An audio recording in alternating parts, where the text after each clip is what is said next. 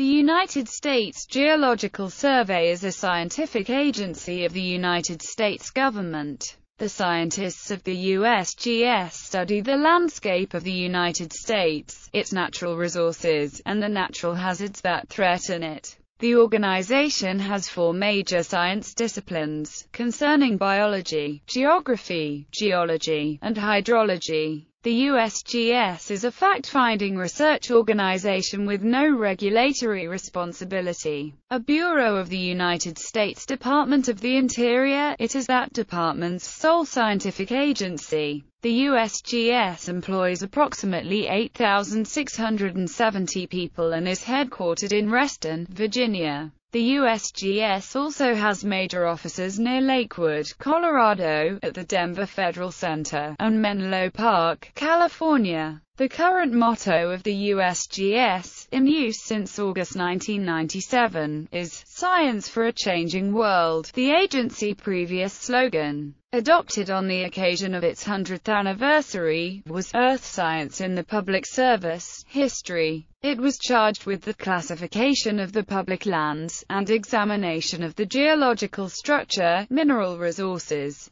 and products of the national domain. This task was driven by the need to inventory the vast lands added to the United States by the Louisiana Purchase in 1803 and the Mexican-American War in 1848. The legislation also provided that the Hayden, Powell, and Wheeler surveys be discontinued as of June 30, 1879. Clarence King, the first director of USGS, assembled the new organization from disparate regional survey agencies. After a short tenure, King was succeeded in the director's chair by John Wesley Powell. List of USGS directors programs since 2012, the USGS science focus is directed at six topical mission areas, namely climate and land use change, core science systems, ecosystems, energy and minerals and environmental health, natural hazards, and water. In December 2012, the USGS split the Energy and Minerals and Environmental Health Mission Area resulting in seven topical mission areas with the two new areas being energy and minerals and environmental health. Administratively, it is divided into a headquarters unit and six regional units. Other specific programs include Earthquake Hazards Program monitors earthquake activity worldwide. The National Earthquake Information Center in Golden, Colorado on the campus of the Colorado School of Mines detects the location and magnitude of global earthquakes. The USGS informs authorities, emergency responders, the media, and the public both domestic and worldwide, about significant earthquakes. It also maintains long-term archives of earthquake data for scientific and engineering research. It also conducts and supports research on long-term seismic hazards. USGS has released UCERF California Earthquake Forecast as of 2005, the agency is working to create a national volcano early warning system by improving the instrumentation monitoring the 169 volcanoes in U.S. territory and by establishing methods for measuring the relative threats posed at each site. The USGS National Geomagnetism Program monitors the magnetic field at magnetic observatories and distributes magnetometer data in real time. The USGS collaborates with Canadian and Mexican government scientists, along with the Commission for Environmental Cooperation, to produce the North American Environmental Atlas, which is used to depict and track environmental issues for a continental perspective. The USGS operates the stream gauging network for the United States, with over 7,400 stream gauges. Real-time streamflow data are available online. National Climate Change and Wildlife Science Center implements partner-driven science to improve understanding of past and present land use change, develops relevant climate and land use forecasts, and identifies lands, resources, in communities that are most vulnerable to adverse impacts a change from the local to global scale. Since 1962, the Astrogeology Research Program has been involved in global, lunar, and planetary exploration and mapping. In collaboration with Stanford University, the USGS also operates the USGS Stanford Ion Microprobe Laboratory, a world-class analytical facility for U-Pb geochronology and trace element analyses of minerals and other earth materials. USGS operates a number of water-related programs, notably the National Streamflow Information Program and National Water Quality Assessment Program. USGS water data is publicly available from their National Water Information System database. The USGS also operates the National Wildlife Health Center, whose mission is to serve the nation and its natural resources by providing sound science and technical support, and to disseminate information to promote science-based decisions affecting wildlife and ecosystem health. The NWHC provides information, technical assistance, research, education, and leadership on national and international wildlife health issues. It is the agency primarily responsible for surveillance of H5N1 avian influenza outbreaks in the United States. The USGS also runs 17 biological research centers in the United States, including the Patuxent Wildlife Research Center. The USGS is investigating collaboration with the social networking site Twitter to allow for more rapid construction of shake maps. Topographic mapping The USGS produces several national series of topographic maps which vary in scale and extent, with some wide gaps in coverage. Notably the complete absence of 1 to 50,000 scale topographic maps or their equivalent. The largest and best-known topographic series is the 7.5-MINUTE 1 to 24,000 scale quadrangle, a non-metric scale virtually unique to the United States. Each of these maps covers an area bounded by two lines of latitude and two lines of longitude spaced 7.5 minutes apart. Nearly 57,000 individual maps in this series cover the 48 contiguous states, Hawaii, U.S., territories, and areas of Alaska near Anchorage, Fairbanks, and Prudhoe Bay. The area covered by each map varies with the latitude of its represented location due to convergence of the meridians. At lower latitudes, near 30 degrees north, a 7.5-MINUTE quadrangle contains an area of about 64 square miles. At 49 degrees north latitude, 49 square miles are contained within a quadrangle of that size. As a unique, non-metric map scale, the 1 to 24,000 scale naturally requires a separate and specialized Romer scale for plotting map positions. In recent years, budget constraints have forced the USGS to rely on donations of time by civilian volunteers in an attempt to update its 7.5-MINUTE topographic map series, and USGS stated outright in 2000 that the program was to be phased out in favor of the national map, an older series of maps the 15-minute series was once used to map the contiguous 48 states at a scale of 1 to 62,500,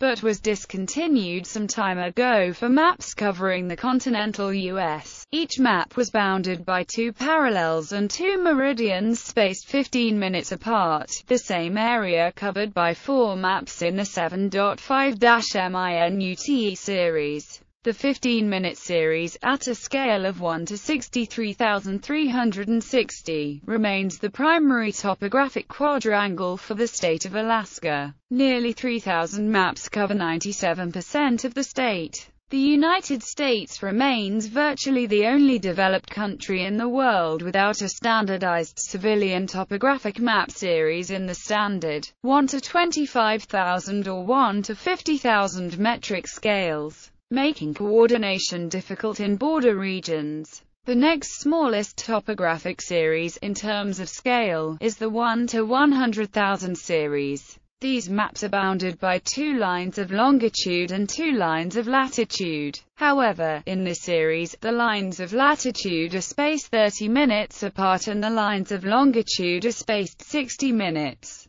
which is the source of another name for these maps, the 30 by 60 minute quadrangle series. Each of these quadrangles covers the area contained within 32 maps in the 7.5-MINUTE series. The 1 to 100,000 scale series is unusual in that it employs the metric system primarily. 1 centimeter on the map represents 1 kilometer of distance on the ground. Contour intervals, spot elevations, and horizontal distances are also specified in meters. The final regular quadrangle series produced by the USGS is the 1 to 250,000 scale topographic series. Each of these quadrangles in the conterminous United States measures 1 degree of latitude by 2 degrees of longitude. This series was produced by the U.S. Army Map Service in the 1950s, prior to the maps in the larger scale series, and consists of 489 sheets each covering an area ranging from 8,218 square miles at 30 degrees north to 6,222 square miles at 49 degrees north. Hawaii is mapped to this scale in quadrangles measuring 1 degree by 1 degree. USGS topographic quadrangle maps are marked with grid lines and ticks around the map collar which make it possible to identify locations on the map by several methods